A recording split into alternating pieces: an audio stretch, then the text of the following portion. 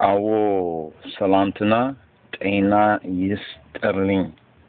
መልካም አዲስ ዓመት Happy New Year. Happy Ethiopian New Year.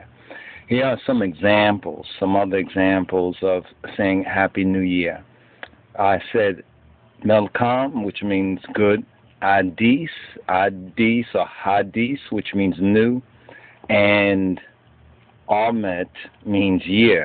But one can also say Inquan, Kazemin what a zemin, Ashagagarawo, Ashagagarawo.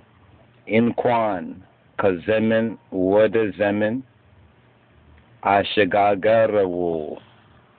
As well as in Kwan, La'adisu Ahmet Besalamina Bedesita Adaresawo which also means congratulations. He has brought you across from year to year. And then one final way of saying Happy New Year in Amharic is in Kwan. Le ledetu baal bedekhna adaresawu. Now it's interesting, this last one right here this last one that we have, Happy New Year, and it says literally, congratulations, he has brought you to the new year in peace, is also associated from our root with Happy Christmas or Merry Christmas, or more appropriately, congratulations, he has brought you safely to his feast. Now, what do we mean by that? We need to understand our Tawahido and the real importance of the new year or crossing from Zemin water Zemin.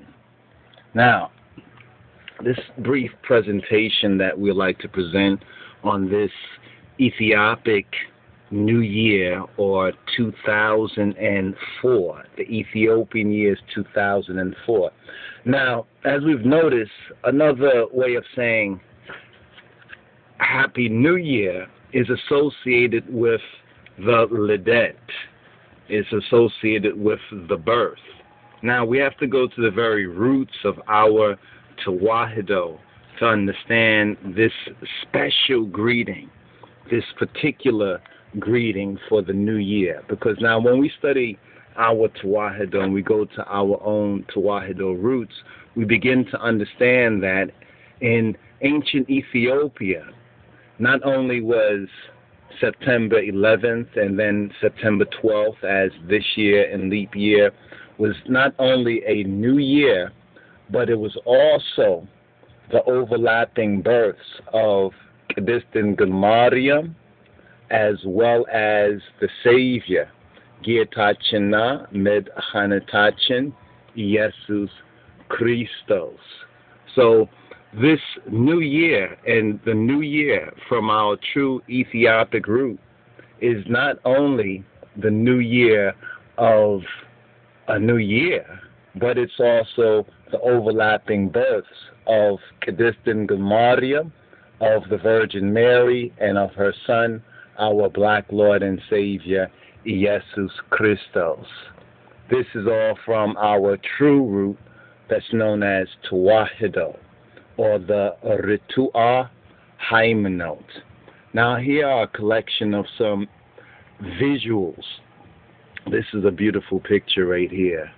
This is truly a beautiful picture right here. Even the Renaissance painters like Da Vinci and the others, Leonardo da Vinci, they understood and they knew this secret truth and they were persecuted because of the gnosis or the gnosis that they knew. And they knew more concerning Ethiopia and the true Ethiopic root, and even the black mother and the black child. This is an old painting right here that we want to show you. And if you notice, this is one of, they say, the oldest paintings. And if you look at the son, the Savior, you can see his Negroid or Ethiopic or black features is very, very clear. Now, when we go to the roots, we go to our roots, we go back to the beginning of civilization, and we see the Isis or, or set imagery is linked with the Mariam or the Black Virgin Mary and child imagery. Now, what's very important is that September 11th in regular years and September 12th in leap years is actually the overlapping birthday of both the Savior and his mother and this Dingal and the Black Virgin Mary. Now, let's share a little bit of this with ones and ones and ones that the incarnation dates, the dates of incarnation of the Son of God, Jesus Christos, in the womb of Kedistin Mariam, or the Black Virgin Mary, at the Annunciation of Kedus Gabriel, the Archangel, and the conception of the Mother of God in the womb of her mother Hannah occurs on Tahisas 1 and 7 rather than Megabit, or the Ethiopic month of Megabit 29 and Nahase 7. This is all imposed, was imposed by the Egyptian Orthodox Church respectively.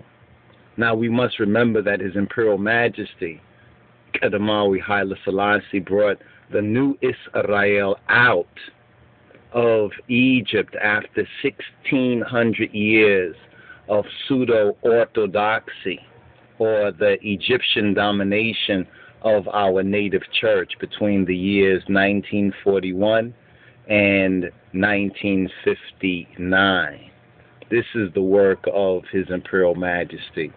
So, once again, we're going to get into a little more details of this, but we wanted to wish ones and ones, our brothers and sisters, in the name of the King of Kings and His Christ, Amelkam Adis Ahmet Adarasachu as well as happy birth of Jesus Christos and his mother Kedistin Maria.